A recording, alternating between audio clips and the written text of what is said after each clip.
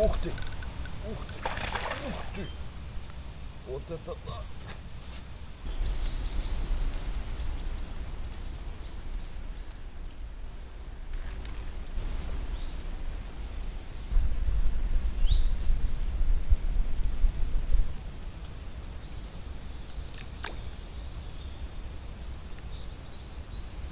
Привет, рыболовы! Вы на канале видеожурнал Рыбалка. Друзья, на дворе уже середина октября, осень уже входит в свои полноценные права и берет свое. Сегодня ночью у нас было 4 градуса тепла всего лишь, а с утра такой я ехал на рыбалку, был туманчик. Но сейчас он уже развеялся. Я уже нахожусь на своем любимом озере, где сегодня будем пытаться поймать какого-нибудь карасика, а если повезет, даже карпа. Ну а там посмотрим, как дела пойдут. Одну удочку я уже забросил на червячка, а на вторую мы сейчас с вами замешаем тесто по популярному рецепту из интернета и попробуем его протестировать, как он себя покажет. Ингредиенты я там взял, сейчас будем готовить, мешать, все буду рассказывать и показывать. Погнали! Друзья, продолжаем мы нашу рубрику тестирования популярных рецептов из интернета. И сегодня у нас на очереди тесто из кукурузных палочек. Для этого нам понадобятся сами кукурузные палочки. У меня сегодня с таким фруктовым запахом. Так, что нам надо? У меня есть вот такая вот емкость. Сейчас набросаем сюда вот так кукурузных палочек. Как пишут в интернете, кукурузные палочки служат как заменитель кукурузной муки ну а также здесь присутствуют всякие консерванты, ароматизаторы, ну и всякие другие вкусности, которые любит рыба. Взял я из дома в термосе горячую воду. Сейчас мы их так вот зальем. Они хорошо растворяются в воде. Сейчас мы их размешаем до такой однородной массы, чтобы не было здесь комочков. И будем добавлять следующие ингредиенты. Так, следующим ингредиентом идет ванильный сахар. Меня вот есть такая небольшая пачка здесь. Сколько? Здесь 15 граммов. Ну, я думаю, целую сильно много будет. Высыпем половинку. Ну, кукурузные палочки сами по себе обладают запахом. Ну а ванильный сахар еще усилит вкус данного теста. Следующий ингредиент перец чили. У нас уже осень, вода прохладная, а как и всем известно, по прохладной воде очень хорошо проявляют себя такие резкие запахи. И во многие насадки, бойлы добавляют чили, чтобы он раздражал вкусовые рецепторы рыбы. Дальше. Дальше нам нужен один яичный желток. Сейчас попробуем его аккуратно вот так вот отделить от белка. Раз. Так, сюда. Ну, чтобы наше тесто имело такой ярко выраженный запах, и чтобы весь карась там с ума сошел, я добавлю сюда зубчик чеснока. Чеснокодавки у меня нету, поэтому сейчас я его очень-очень мелко порежу ножом и прям туда добавлю чеснок ядреный. Он и так отдаст все свои запахи, даже если его не давить, а просто очень мелко-мелко порезать. Так, порезали. Высыпаем сюда.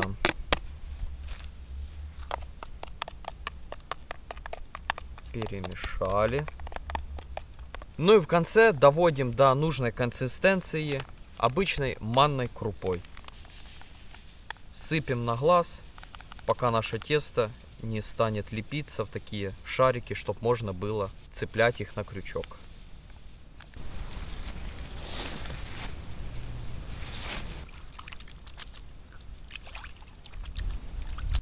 Так, друзья, есть. Тесто я вымешал. Оно у меня получилось такого светло-коричневого цвета. Что-то я надеялся, оно будет желтое. Но, наверное, из-за перца оно чуть-чуть потемнело. Больше пахнет кукурузными палочками, чем чесноком, но запах своеобразный имеет.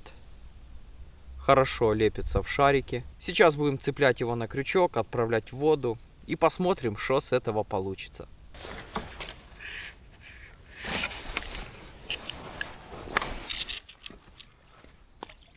Оба! А тут пока удочку раскладывал, уже подцепилось что-то. И поймал солнечного окуня. Вот это мне в этом году везет на солнечных окуней. Уже второго за этот год ловлю. Очень красивая рыба, такая необычная, как с аквариума. Но говорят, она очень вредная и приносит очень много вреда водоему. Не знаю, правда, какого. Наверное, икру жрет. Ладно. Отпустим.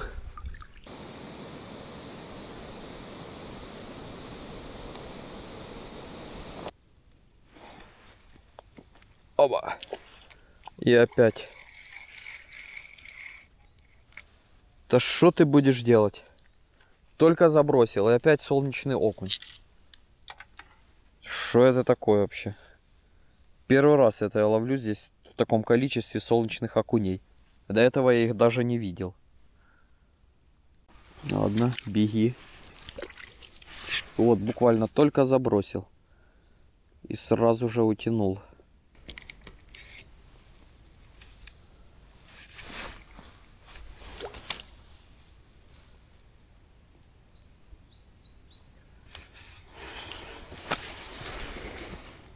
Мы перейдем ко второй удочке или нет с этими окунями. И опять он что-то тягает.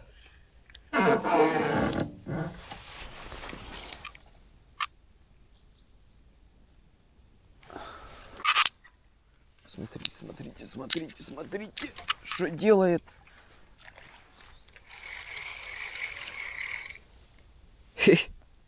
Это уже не солнечный окунь, а обычный.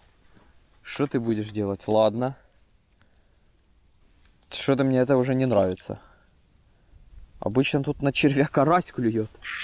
А тут начали окуня идти. Ну это вообще мелкий-мелкий, как палец, наверное. Эту удочку мы пока сейчас забрасывать, значит, не будем.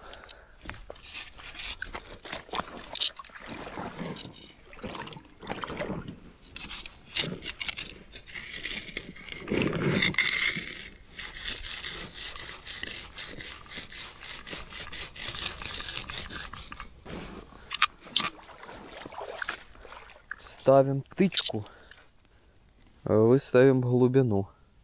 Так, надеваем наше тесто. Вот так вот шариком сделаем. Сейчас попробуем, что на него вообще будет. Потому что на червяк он окуня клюют. А на тесто, может, все-таки подойдет и карась. Итак, рыболовы, не получилось у меня полноценно тогда порыбачить. Вызвали меня на работу. А сегодня решил приехать, продолжить рыбалку. Но на том озере вся водная гладь была засыпана листьями. Листья с деревьев начали опадать. И на поплавок рыбачить там не сильно комфортно, как мне показалось. Я там поснимал, чтобы вы увидели вообще картину, что там происходит. Поэтому я сегодня на другом ставке. Рыболовная программа у нас та Будем тестировать тесто, которое мы приготовили на прошлой рыбалке. Так что продолжаем. Так, сейчас насаживаем тесто. Тесто я замешал новое, но рецепт старый. Вот так вот. В этот раз добавил я чуть-чуть манки. И оно получилось такое более светлого цвета. И лучше оно держится на крючке. У нас уже осень полноценным ходом идет. Буквально за неделю все пожелтело. И листья начали осыпаться. И он здесь тоже листья плывут. Но не так, как на том ставке. Думаю, конечно, и здесь будет поплавок тягать. А точнее леску этими листьями, потому что и ветер немного сегодня дует. И даже там на после обед дождик обещали. Ну, посмотрим. Посмотрим, как она будет. Потому что выезжали иногда и в лучшую погоду. Рыба не клюет. Если в лучшую не клюет, то будем, значит, рыбачить в худшую. Так, а на вторую сейчас повешу червяка. Я когда только приехал, видел здесь такие пузыри шли. Видно, что рыбка здесь рылась. Скорее всего, карасик, а может и карп. Место это вам знакомое, кто смотрел до этого мои видео. Я здесь довольно-таки часто рыбачу. Так что здесь тоже есть крупный карась и даже карпик. Ну, карпик такой, не сильно большой. Полтора, два, два с половиной килограмма. Но когда-то я приезжал на это место и просто так ходил, осматривал территорию и видел, плавали парочку здоровенных амуров. Таких, наверное, килограмма по 5, по 4. Также я вот замешал прикормку. Сейчас тоже быстро закормим точки. Будем приманивать рыбку. В прикормке у меня кукуруза вместе с сыпухой. И также добавил сюда те кукурузные палочки, которые не использовал. Такие для запаха. Они там с клубничным ароматом. Так что пусть рыба приходит на клубнику.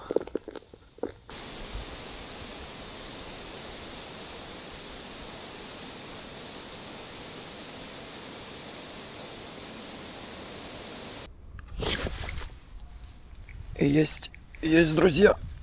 Ух, ух. То это карась. Да? Нет, окунь. Здоровый окунь.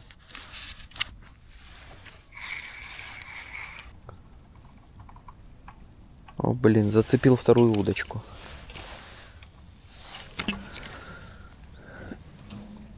Так.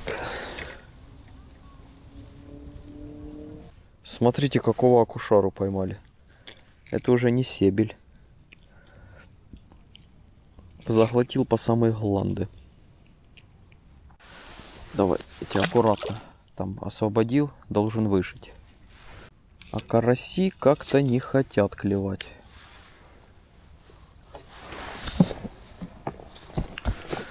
Ушли в спячку или где попрятались? Где попрятались вы, карасики? Чебурасики.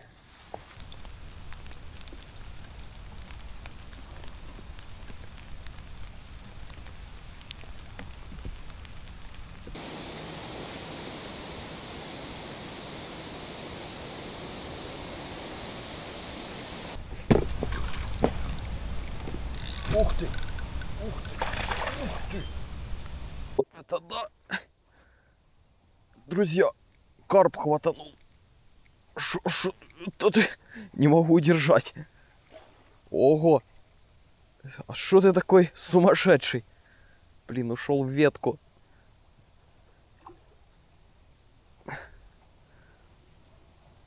Сейчас надо поднять его. Ай. А, гад уходит в ветку.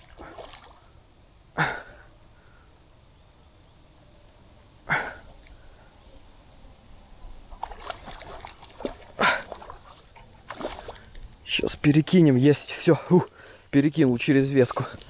Фу, вот это да. Так, эту удочку сейчас нафиг. Эту удочку нафиг. Вот это да. Вот это борьба. Он прямо с воды даже выскочил немного. Так я его рванул.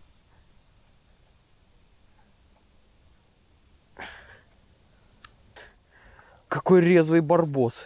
Вот карп пришел. Это поклевка на тесто, друзья. На наше тесто соблазнился.